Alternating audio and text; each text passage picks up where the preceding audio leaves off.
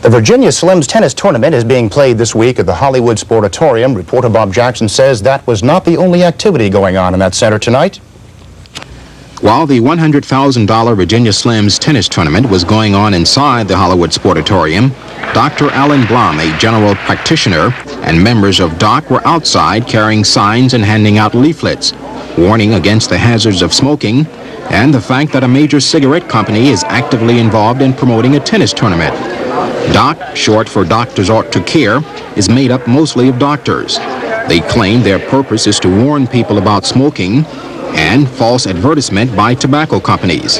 While radio and television stations have banned cigarette commercials completely, Blum adds many companies have found other ways of getting coverage. Well, there's a lot of money involved here, and the uh, companies like the Philip Morris Company are investing a heck of a lot of money, uh, upwards of several hundred million dollars in this free subliminal advertising. The best kind of advertising is that which you don't realize is advertising. That's exactly what this tennis tournament is. Make no mistake about it, this is a cigarette promotion and not just a women's tennis tournament. Dr. Blum adds his group will concentrate on all cigarette companies that sponsor sporting events. Bob Jackson, Channel 4 News.